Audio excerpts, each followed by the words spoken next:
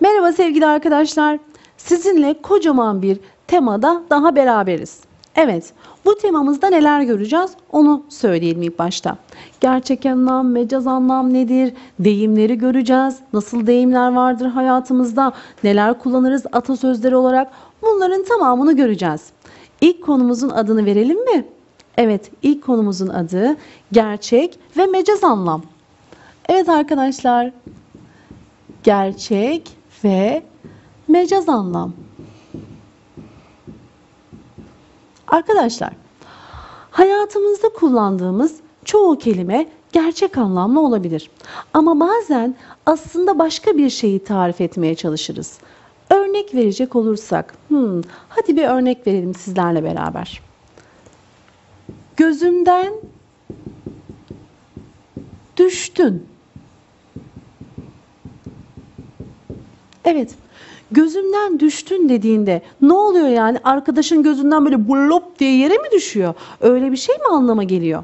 Gözümden düştün dediğinde ne demek? Ne demek arkadaşlar?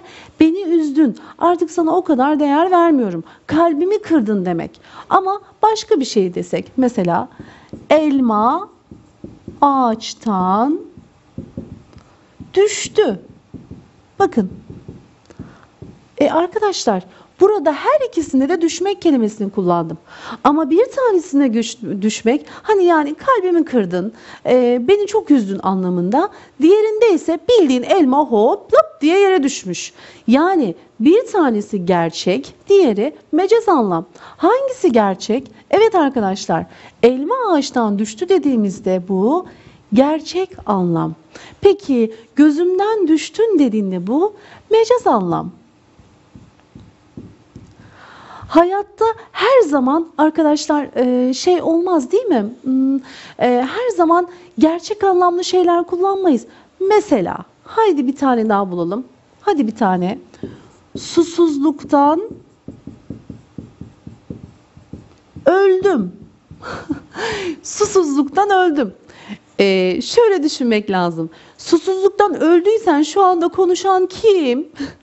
Demek ki ölmemişsin. Burada ne anlamda konuşuyor arkadaşlar?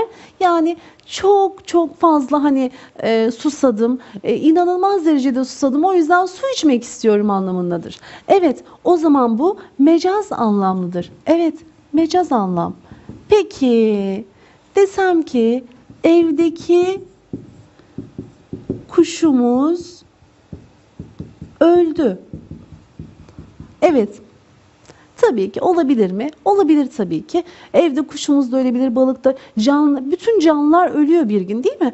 Bu da olabilir. E bakın evdeki kuşumuz öldü. Gerçek anlamda öldü mü öldü. O zaman bu gerçek anlamlıdır.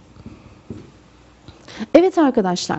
Şimdi bu mecaz anlamla ilgili özellikle hani yeni bir konuya geçiş gibi bir bilgi vermek istiyorum. Mecaz anlamlar çoğu kez deyimlerde kullanılır. Evet, deyimlerde. Mesela bir örnek versem size. Eli sıkı. Ne demek bu? Eli şey mi? Sık elini sık sık sık. Elin sımsıkı sımsıkı. Bu demek mi arkadaşlar? Hayır bu demek değil. Eli sıkı demek cimri demek. Bakın. Hani eli sıkı, parayı kimseye vermiyor anlamında kullanılır. Başka olabilir mi? Bir sürü bir sürü var. Başka ne olabilir? Hadi siz bir düşünün. Hmm, eli bol. Bakın. Eli bol.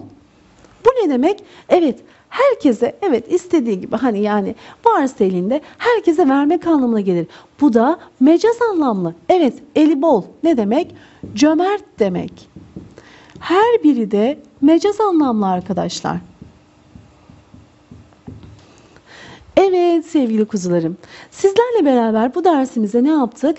Gerçek ve mecaz anlamlı kelimeler hakkında konuştuk. Gerçek anlamlı kelimeler neyse oydu.